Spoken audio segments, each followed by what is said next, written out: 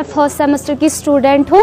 मैं degree college गोल में पढ़ती हूँ। हम, हमें यहाँ बहुत ज़्यादा परेशानियाँ आती है। हमारी बिल्डिंग कंप्लीट नहीं है। हम आईटीआई की बिल्डिंग में जो हमें बहुत मुश्किल का सामना करना पड़ता है। हमें एक हॉल जो है बड़ा मिला है। हम उसी में कॉम्प्रोमाइज़ बहुत करते हैं। हमें बहुत ज़्यादा मुश्किल का सामना करना पड़ता है। और हम ये चाहते हैं कि हमारा जो नया वाला कॉलेज है, उसको जल्दी से जल्दी तैयार किया जाए ताकि हमें अच्छी तालीम हासिल हो सके। और हमें यहाँ बिल्कुल फील नहीं आता कि हम किसी कॉलेज में पढ़ रहे हैं। बिल्कुल भी हमें वो फीलिंग्स नहीं है, हम किसी कॉलेज में हैं, ऐसा लगता है वहाँ से आए, बैठने की भी कोई जगह नहीं है हमारे पास। हमें बिल्कुल अच्छा नहीं लग रहा है यहाँ पे, हम चाहते हैं हमारे कॉलेज को जल्दी से जल्दी तैयार किया जाए। 2023 है, लेकिन आज भी यहाँ पे कॉलेज की बिल्डिंग जो कंप्लीट नहीं है, बच्चे दो कमरों में तीन चार क्लासें लग रही है। वो भी सिर्फ़ आर्ट स्ट्रीम्स है मेडिकल स्ट्रीम यहाँ पे है नहीं तो वो सारा जो मसला है, वो सिर्फ़ इसकी वजह से है कि बिल्डिंग कंप्लीट नहीं है। और आप पैसा तो आया है, आप खुद भी देखोगे वहाँ पे कि बिल्डिंग कम, बनी तो है, लेकिन कंप्लीट उन्हें नहीं की हुई है। अभी वो बिल्डिंग हैंड ओवर भी नहीं की हुई है, लेकिन तब भी वहाँ पे देखोगे आपकी बिल्डिंग मतलब वो बिल्कुल उखड़ गया, उसका सीमट।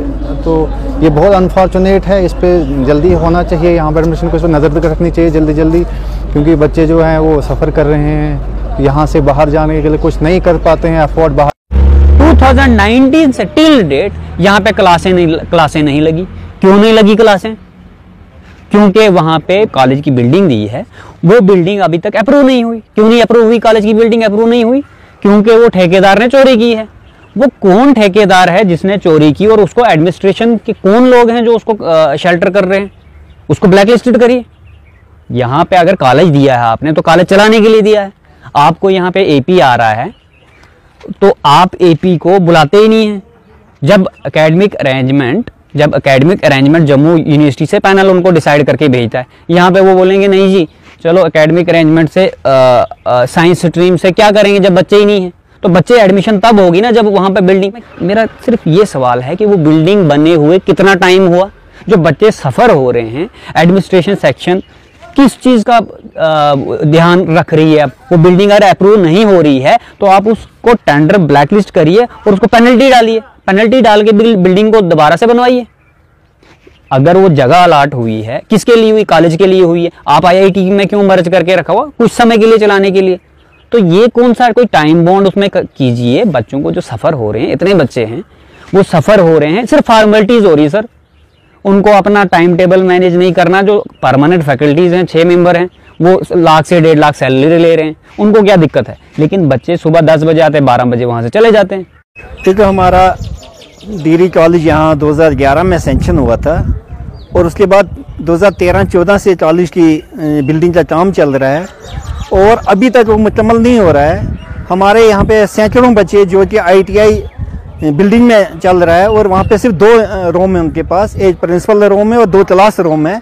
जबकि वहाँ पे हमारी इस वक्त फ़र्स्ट ईयर, सेकंड ईयर और थर्ड ईयर की क्लासें चलती हैं, जिनके सेशन आगे वो सेमिस्टर सिस्टम है और डिफरेंट सेमिस्टर्स में क्लासें चल रही हैं, लेकिन अभी तक कॉलेज बिल्डिंग का काम शुरू मुकम्मल नहीं हुआ, जबकि तेरह चौदह में शुरू हुआ है और दस साल लगभग हो गए और वो बिल्डिंग अभी वहाँ की वहीं पड़ी हुई है और हमारे बच्चे बुरी तरह मुतासर हो रहे हैं। हमारे बच्चों की पढ़ाई जो है, ये क्वालिटी एजुकेशन नहीं है, ये सिर्फ़ क्वांटिटी एजुकेशन हम दे रहे हैं बच्चों को।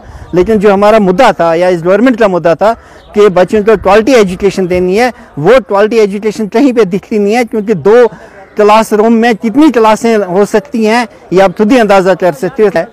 इस एलजी एडमिनिस्ट्रेशन से और हमारे डिस्ट्रिक्ट एडमिनिस्ट्रेशन से भी और एजुकेशन हायर एजुकेशन डिपार्टमेंट से भी कि इस हमारे डिग्री कॉलेज लूल की जो बिल्डिंग है, इसको जल्दी से जल्द मुकम्मल किया जाए